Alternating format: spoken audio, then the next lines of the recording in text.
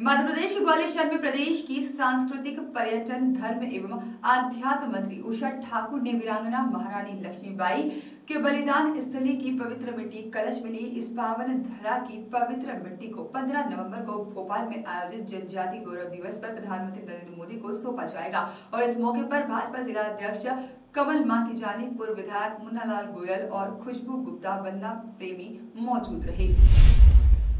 देश भर में फ़िल्म अभिनेत्री और पद्मश्री से सम्मानित कंगना रनौत द्वारा देश की आज़ादी को लेकर दिए गए बयान पर सियासत गरमाई हुई है। इसी कड़ी में मध्य प्रदेश की संस्कृति मंत्री उषा ठाकुर ने स्पष्ट किया है आज़ादी आज़ादी होती है, इसलिए आज़ादी भीख में नहीं मिली है। यह सभी को याद रखना चाहिए। सभी जानते हैं कि लाखों शहीदों के त्याग और बलिदान के बाद ही यह आज़ादी मिली है। वही कंगना के द्वारा दिए गए इस बयान को उन्होंने अभिव्यक्ति की आज़ादी बताया है। पद्मश्री वापस लेने की मांग पर भी उनका कहना है कि पद्मश्री उन्हें दूसरे कार्य के लिए दिया गया है और यह अलग मामला है। ऐसे में पद्मश्री की वापसी की मांग करना अनुचित है। थोड़ा अरे पीछे हो जाओ थोड़ा पीछे पीछे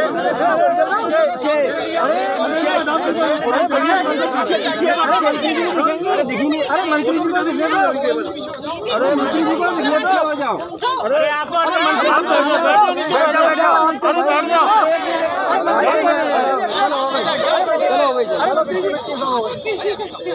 भारत माता की अरे अरे वहाँ थोड़ा पीछे कर वहाँ थोड़ा पीछे कर दिया पीछे कर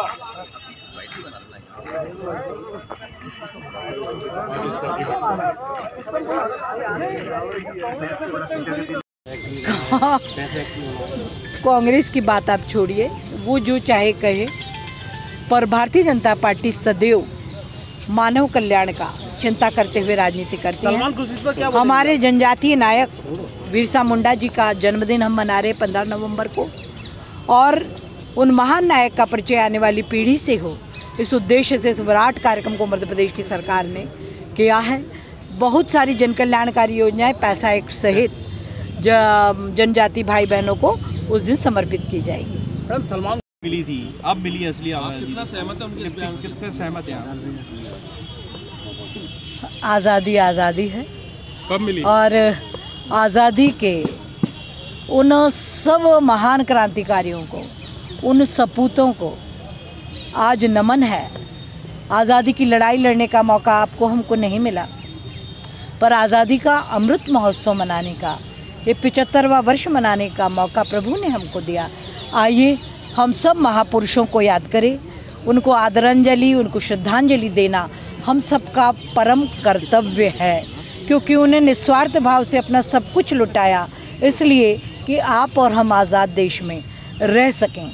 तो मैं सबसे प्रार्थना करती हूँ कि इस पचहत्तरवें वर्ष में हर भारतीय अपने घर में कोई न कोई एक क्रांतिकारी जो उन्हें अच्छे लगते हों उन्हें अपने घर में अवश्य स्थान दे। क्योंकि कंगना के बयान कैसे? इसी पचहत्तरवे वर्ष में उनको सम्मान दिया जा रहा है। इसी पचहत्तरवे वर्ष बीजेपी ने वही कह रही है, पद्मश्री दिया। फिर हम हम क्यों आज़ादी की वर्षगांठ बनाते हैं? वो तो इतनी आज़ादी क्यों दे दी है? भारतीय जनता पार्टी ने देखिए।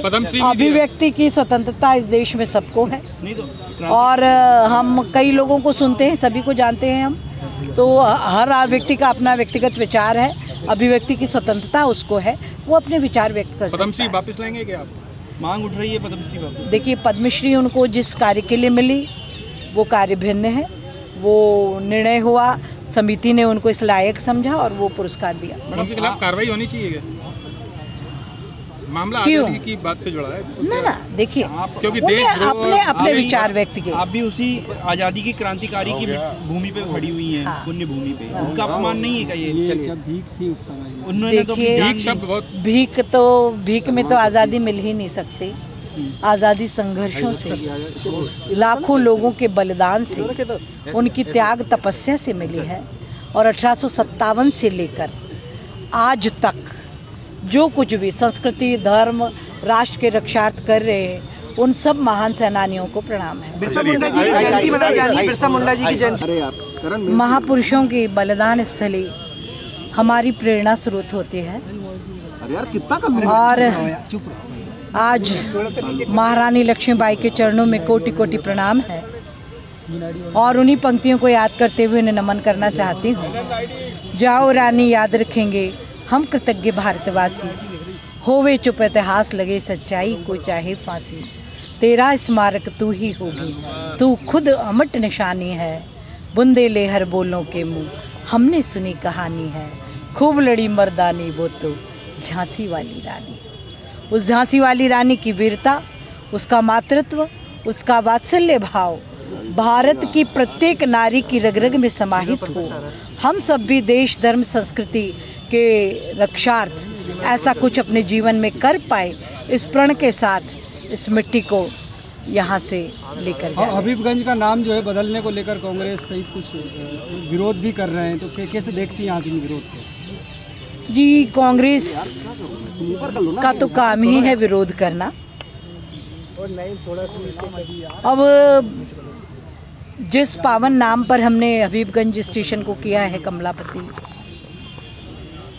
वो बहुत ही श्रद्धेय, पूजनीय इतिहास के स्वर्णिम निर- निर्माता हैं।